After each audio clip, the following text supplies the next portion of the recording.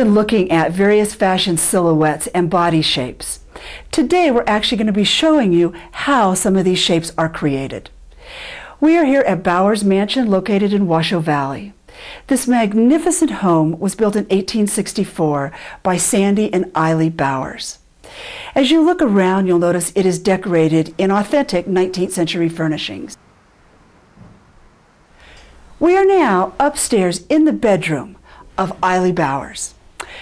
Acting as Mrs. Bowers is Paulette Grune, who will be showing us the art and skill of getting dressed in the 1860s. Paulette, as she awakens, has on her wrapper. This garment acted as a bathrobe. She will now be disrobing and taking that off, and you'll be able to see her chemise. A chemise was a woman's most intimate garment. It held closely to the figure, and if we look at it, it is composed of and constructed with raglan type sleeves. It has many different tucks which create the shaping for this garment. Paulette turns around and you can see that it has a scoop neck with a ribbon. That can be used and be adjustable so that when she might get dressed in a ball gown, the uh, shoulders can actually be removed off the, off the shoulders. Paulette will now be putting on her drawers, her underpants, briefs, panties, if you will. Women have not worn underpants or panties or briefs only really since about the 1820s. Uh, men have typically worn them for several centuries longer. And if you think about that, let's think about the silhouette again of men and women's garments. Men's garments fitted the body. They were trousers, pant-likes. And so wearing underbriefs would be natural to protect those pant those pantaloons from the dirt of the body. However, for women, it was a different silhouette, and indeed they wore wide skirts, so there was nothing really close to the figure. Women briefs originally were open drawers. They had an open crotch. They tied around the waist and you put your right leg in and your left leg in, but they were open in the center. Closed drawers did not start becoming acceptable until several decades later, about the 1880s. Now, why is it that women didn't wear underwear for so long? And a lot of this is attributed to the Bible and to religion. Men's garments were typically pantaloons or trousers, and a woman would have never worn a man's garment. And in fact, it was frowned upon by the Bible and by many religious groups. Paulette now has her drawers on, and as you can see, they are a couple of inches beneath her knees. This is a specific type of drawer and was called pantaloons or pantalettes. Sometimes drawers could be shorter as well. Paulette is now getting ready to put on her shoes and socks. You might be wondering why she'd put on her shoes and socks before she has her dress on. But once a 19th century woman is fully attired in her crinoline and corset, she cannot bend over. So she's putting on her shoes and socks right now. Now, aren't those absolutely wild socks? Yes, indeed. In the 19th century, socks could be multicolored, they could be solid, and they were bright colors. The knitting machine was actually invented in 1589, so the knitting machine is quite a bit older than the sewing machine, and women and men have been wearing stockings for many centuries. Watch how she garters them. She is wearing an elastic rubber garter. There were also quote unquote suspenders, which would hang from the waist, which could also be used as garters.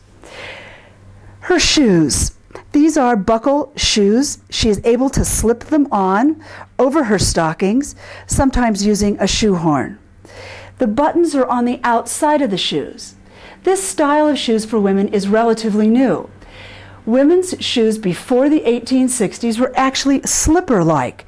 They were very loose fitting and could be worn on either foot, the right or the left foot.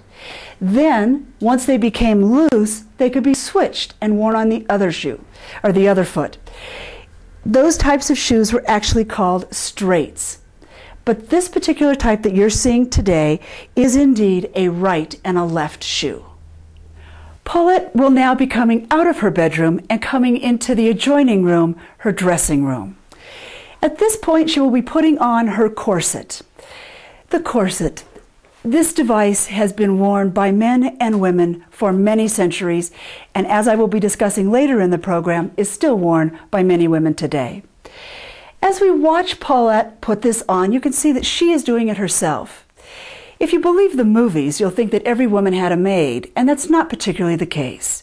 Many women of modest means could and did indeed secure their corsets themselves. This is a rather difficult task, however. As you can see, she has to have her arms behind her, and she pulls snugly on each side.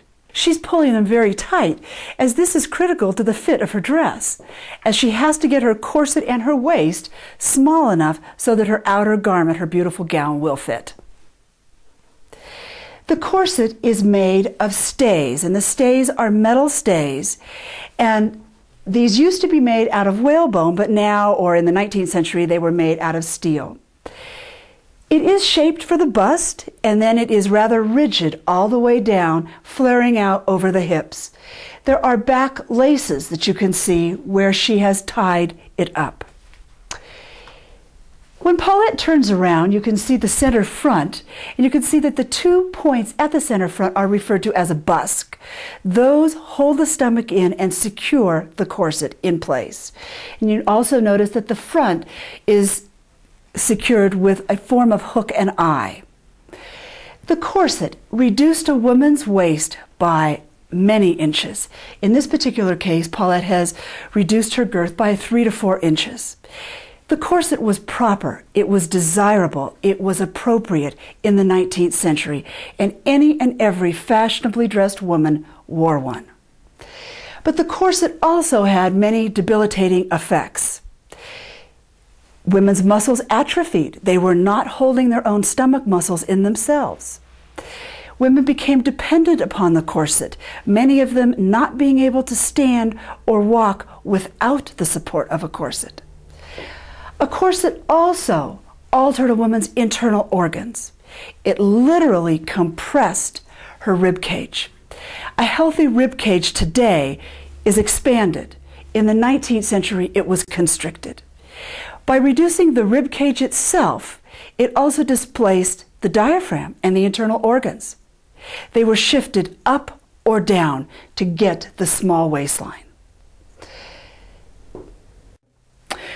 By having Paulette stand side profile like this, we can look at what the corset has actually achieved. Her waist is reduced, and you can see the narrowness of the rib cage. The corset ends right at the bust point, allowing the bust to be upwardly lifted.